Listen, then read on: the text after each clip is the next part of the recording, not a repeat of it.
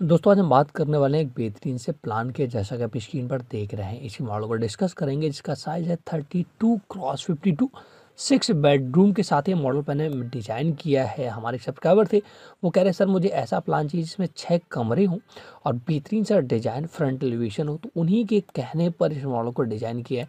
बहुत ही बेहतरीन प्लान होने वाला है। बने शूडो में लगातार मैं हूँ और आप देख रहे हैं अपना चैनल स्मॉल हाउस प्लान दोस्तों स्मॉल हाउस प्लान पर अगर आप पहली बार आए हैं तो प्लीज़ चैनल को सब्सक्राइब कर ले, क्योंकि यहाँ पर आपको अपडेटेड वीडियो मिलते रहते हैं नए नए मॉडल्स मिलते रहते हैं तो जिससे आप जब भी घर बनवाएँगे तो आपको एक आइडिया मिल जाएगा कि घर का नक्शा या घर का डिज़ाइन ऐसा भी हो सकता है और आप उसे चूज़ करके सिलेक्ट करके बनवा सकते हैं। तो आज का जो प्लान है सिक्स बेडरूम के साथ उसे डिस्कस करते हैं प्रॉपर तरीके से।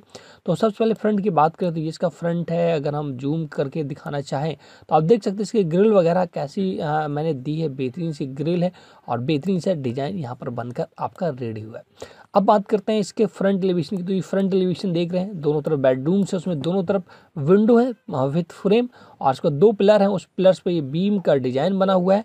तो ये पूरा प्लान आज हम डिस्कस करेंगे। तो सबसे पहले ग्राउंड फ्लोर की बात करें तो ये इसका ग्राउंड फ्लोर है, ये स्टेयर से माध्यम से ऊपर जाएँगे। तो पहले मैंने पोच डिज़ाइन किया है और जैसे अंदर जाते हैं तो आपको देखिए दोनों तरफ़ बेडरूम्स मिलते हैं। दोनों तरफ़ बेडरूम्स के लिए अलग अलग मैंने डोर दिया है और फ्रंट में विंडो दिया है वेंटिलेशन के लिए। वही बात करें मेन डोर की तो ये मेन डोर है जहाँ से आप एंट्री करेंगे पूरे मकान में।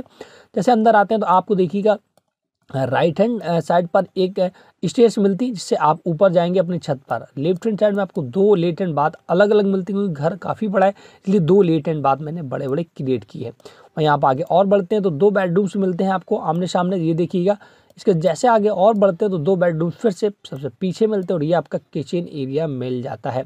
तो ये देखिए बेडरूम्स की रिक्वायरमेंट इनको ज़्यादा थी छः बेडरूम्स की रिक्वायरमेंट थी। अब इसकी वेंटिलेशन की अगर हम बात करें कि वेंटिलेशन कैसे मिलेगा, क्योंकि जगह काफ़ी बड़ी है तो अगर आपके आसपास जगह है तो चारों तरफ़ आप विंडो लगवा सकते हैं। अगर आसपास आपके थोड़ी भी जगह है, अगर जगह नहीं है तो।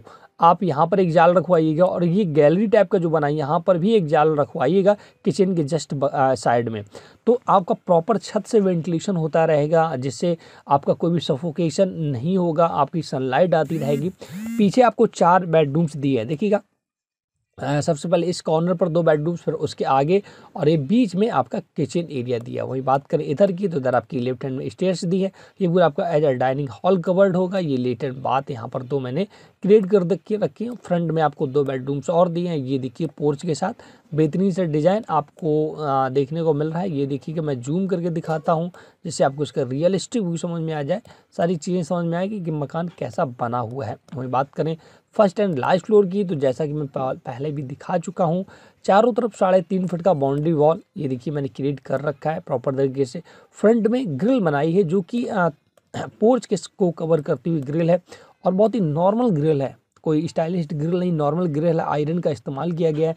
ये कुछ डिज़ाइन के पर्पज से ब्लॉक टाइप के काटे गए हैं ये आपको स्टेयर्स को ढकने के लिए गुमटी है, जिससे आपका पानी वगैरह ना जाए बरसात में, जिससे आप छत पर भी आ सकें। तो ये पूरा ओवरऑल मॉडल बेहतरीन सा था।